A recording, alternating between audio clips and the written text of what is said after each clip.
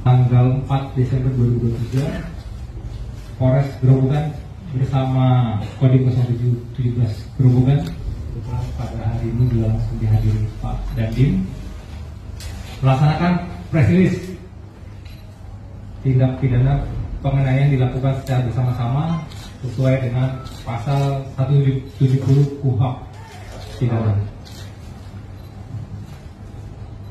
Perkara penganiayaan dilakukan secara bersama-sama untuk TKP Dusun Tanjung Desa Membak, Kecamatan Purwodadi, Kabupaten Grobogan.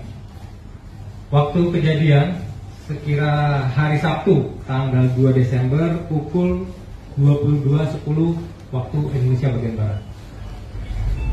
Pelapor atau korban atas nama, atas nama inisial S mengalami luka di bagian kepala dan nyeri di dada. Yang